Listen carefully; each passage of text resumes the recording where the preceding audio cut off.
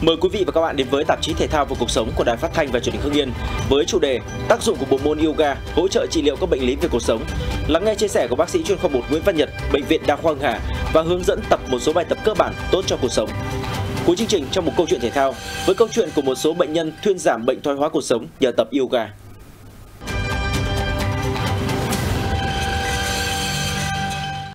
Thưa quý vị, nhiều người đã mắc phải các bệnh lý liên quan đến thoái hóa các đốt sống và yoga là giải pháp hỗ trợ trị liệu hồi phục tự nhiên rất hữu ích cho người tập. Trong chương trình hôm nay, chúng ta sẽ cùng tìm hiểu về sự kỳ diệu của yoga trong quá trình trị liệu các vấn đề cuộc sống như thế nào. Bác sĩ chuyên khoa 1 Nguyễn Văn Nhật, Phó khoa y học cổ truyền, Bệnh viện Đa khoa Hà sẽ tư vấn cho chúng ta về vấn đề này.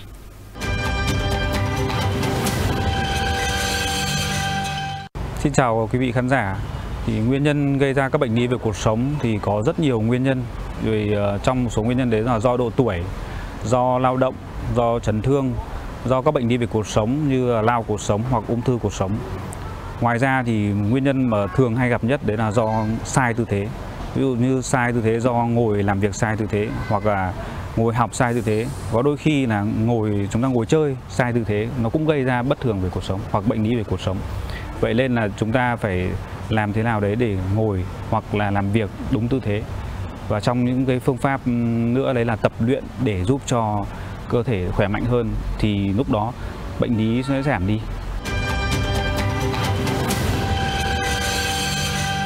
Thưa quý vị khán giả, ờ, bệnh lý về cuộc sống thì có rất nhiều bệnh lý. Ờ, một trong những bệnh lý hay gặp nhất đấy là bệnh lý về thoát vị đĩa đệm và bệnh lý thoái hóa cuộc sống. Ngoài ra thì có một số bệnh lý khác ví dụ đau lên sườn hoặc là đau dinh tọa cũng từ ờ, cuộc sống gây ra.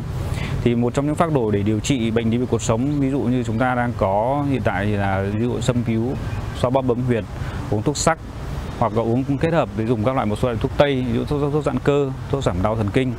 à, những trường hợp nặng thì chúng ta có thể ờ, sử dụng các phương pháp điều trị ngoại khoa ví dụ như can thiệp ngoại khoa mổ thoát vị đĩa đệm Thế còn ờ, một phương pháp nữa mà tôi muốn giới thiệu ngày hôm nay đấy là tác động cuộc sống, nắn chỉnh cuộc sống giúp rất tốt, rất hiệu quả trong vấn đề điều trị thoát vị đĩa đệm và thoái cuộc sống. Ngoài ra thì có một số phương pháp khác hỗ trợ quá trình ờ, điều trị, ví dụ như là tập yoga. Thì yoga như các bạn đã biết mang lại rất nhiều lợi ích cho sức khỏe. Tuy nhiên là ngoài ra thì nó lại giúp cho quá trình điều trị về các bệnh lý như thoát vị hoặc thoái cuộc sống rất hiệu quả. Bằng về nguyên lý của nó là yoga giúp cho các cơ cuộc sống và cột sống, đốt sống được giãn ra. Từ đấy giảm các chèn ép về thần kinh giảm các giảm tác đau cho bệnh nhân rất là hiệu quả. Để làm rõ điều này thì mời quý vị khán giả sẽ trải nghiệm thực tế quá trình điều trị về các bệnh lý cuộc sống trên khoa y cổ truyền của bệnh viện Đa khoa Hà.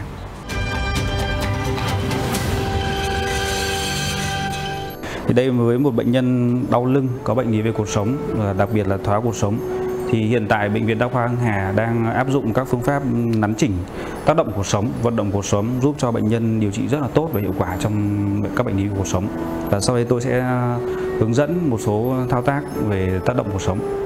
Xin quý vị à, quan sát.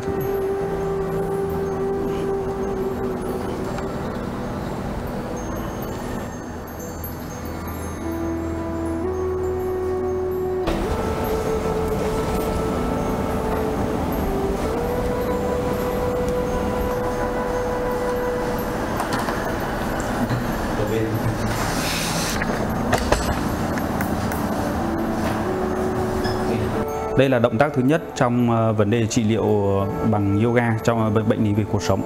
Thì ờ, đầu tiên em ờ, động tác đầu tiên là em hai tay ôm vào đầu gối, sau từ cúi xuống, thở thở hết ra.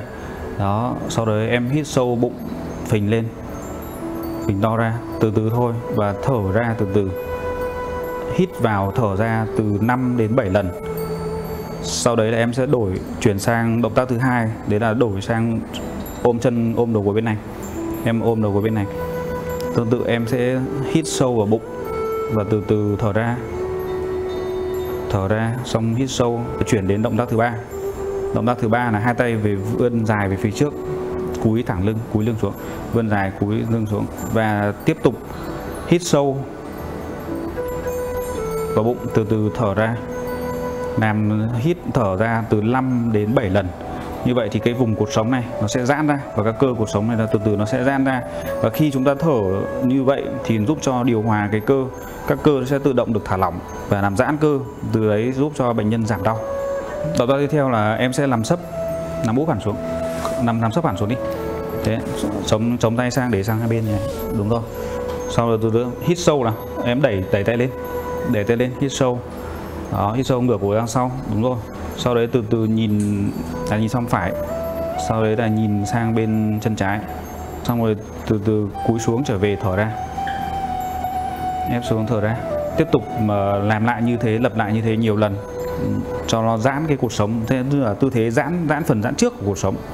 Giãn mặt trước cuộc sống và đồng thời giãn cuộc sống cổ. Trong điều trị các cả bệnh lý vai gáy, các bệnh lý về cuộc sống cổ và cuộc sống lưng. Đây là động tác kết hợp giữa giữa hai bệnh lý. Động tác thứ năm nhé em nằm nằm nghiêng đi. Nằm nghiêng. Đây. Động tác nữa chân ờ, chân, gót chân này sẽ đặt trên đầu gối thế này. Đó. Động tác này, gót chân này em sẽ lấy tay này, em ôm ạ. Ok, tay kia. Em sẽ đặt lên trên những con này. Thả làm cổ xuống. Hơi ngửa một chút, ra một chút. Hơi ngửa, đúng rồi hơi vặn lưng thế. Cái động tác này giúp cho cái giãn, vừa giãn cột sống lưng này, vừa giãn cơ ở vùng vai này, vừa giãn cơ ở vùng mông này. Bây giờ chúng ta sẽ tập sau. Em hít sâu vào bụng, phình ra từ từ phình ra. Hít sâu mình giãn bụng cơ bụng ra. Xong từ từ thở ra, bụng sẽ thóp lại. Đấy. Hít sâu, thở ra như thế khoảng từ 5 đến 7 lần. Sau đấy chúng ta sẽ đổi, xoay tư thế. Tiếp tục chúng ta sẽ thở như vậy. Thở, hít vào bụng, phình ra và thở ra thì bụng thóp lại. Trong tập yoga thì cái hơi thở rất quan trọng để để để giúp cho cái cơ được thư giãn được thả lỏng từ đấy giúp cho giảm các bệnh đau về cuộc sống và đau các bệnh lý đau cơ khác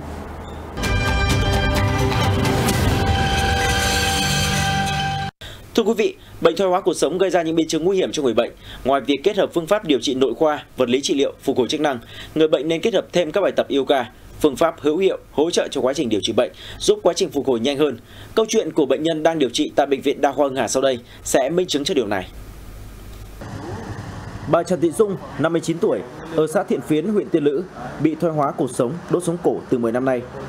Vừa rồi, bệnh của bà tiến triển nặng, gây đau đớn, đi lại khó khăn, nên bà Dung vào khoa y học cổ truyền của bệnh viện Đa khoa Hưng Hà để điều trị.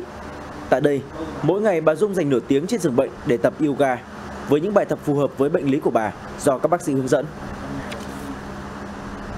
Vào đây thì bác sĩ là kết hợp cả đông tây y và bấm huyệt châm cứu này, rồi dạy tập những các bài tập về yoga đấy để cho nó tốt cho về nó mềm mại lưng ra này, rồi vai gáy này, rồi các thứ thì nói chung là hiệu quả rất là tốt về về lưng và vai cũng đã thấy ổn rồi.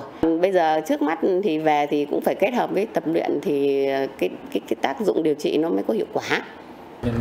Sau 2 tuần điều trị tại bệnh viện, bệnh thoái hóa cột sống của bà Dung đã thuyên giảm. Bà đã đi lại bình thường và được bệnh viện cho xuất viện.